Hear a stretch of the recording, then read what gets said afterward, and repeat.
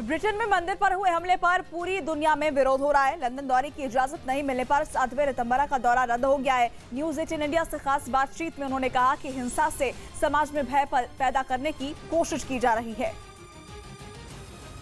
साध्वी रितंभरा इस वक्त हमारे साथ हैं। नई दिल्ली अंतर्राष्ट्रीय हवाई अड्डे पर लंदन जाना चाहती थी, वहाँ नहीं जा सकी। आप ट्रांजिट रिमांड पर भी नहीं जाने दिया गया। क्यों? और आपका कार्यक्रम भी पहले से तय था, जो स्थगित हो चुका था। वहाँ पे कुछ मुस्लिम के संगठन थे, जिन्होंने मैं जब अमेरिका गई, तब भी वहाँ पर जगह जगह प्रोटेस्ट करने की कोशिश की और दो जगह प्रोटेस्ट किए और उसके बाद उन्होंने मेरे प्रोग्राम को कैंसिल करने का प्रयास किया। लेकिन मैं पूरे कार्यक्रम सवा एक महीना मेरा प्रवास था, जो मैं करके वापस आ रही हूँ। अमेरिका के बाद मुझे इंग्लैंड जाना था, लेकिन मुझे कुछ कोविड हो गया था तो सोच रहे थे कि हेल्थ इशू को लेके वहाँ प्रवास रोक देंगे। लेकिन अपने सपनों का बिज़नेस शुरू करने के लिए आपको कोई भी बैंक बिज़नेस लोन नहीं दे रहा? बिज़नेस लोन लेने का सीक्रेट जानना चाहते हो? तो फ्रीडम ऐप को अभी डाउनलोड कीजिए। लेकिन वहाँ पे पहले से ही इन लोगों ने इस तरह के वातावरण का निर्माण किया कि वहाँ की गवर्नमेंट ने वहाँ मुझे जाने को रोक दिया। जिस दुर्गा भवन मंदिर में आपका कार्यक्रम था इस मैथमिक में वहाँ तोड़फोड़ की गई पटाखे फोड़े गए बोतलें फेंकी गई 300 लोगों का हुजूम पहुँचा, अंदर प्रवेश करता है और नारेबाजी करता है। आपके कार्यक्रम के विरोध में जो कि स्थगित हो चुका था, वो बाद में होता। तो आपको क्यों लगता है, ऐसा क्यों किया गया आपके खिलाफ? देखिए, ये तो सारी, ये तो जग ज़ाहिर है। कुछ हिंसक ताकतें हैं जो हिंसा के बल पर भय पैदा करना चाहते हैं समाज में, और ये ये बहुत दुर्भाग्यपूर्ण है।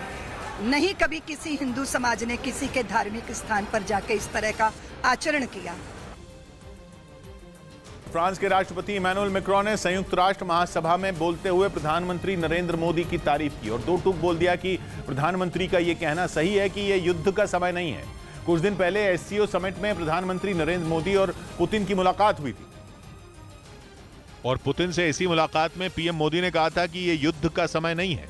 भारत के प्रधानमंत्री इससे पहले भी बोल चुके हैं कि युद्ध करना सही नहीं है और दो देशों के बीच विवाद शांति से सुलझना चाहिए। यूक्रेन जंग पर तो भारत का स्टैंड शुरू से साफ़ है।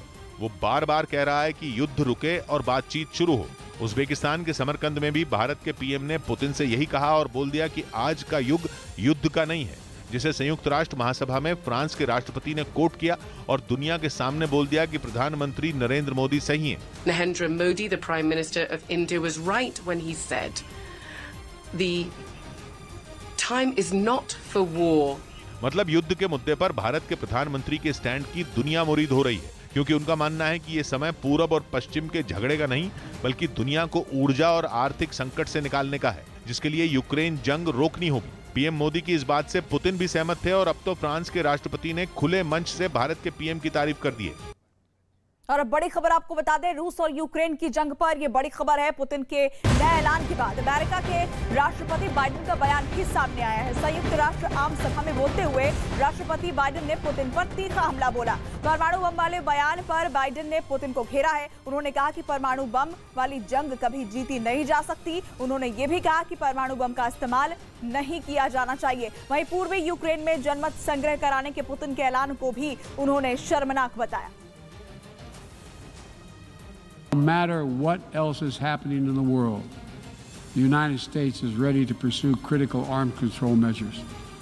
A nuclear war cannot be won and must never be fought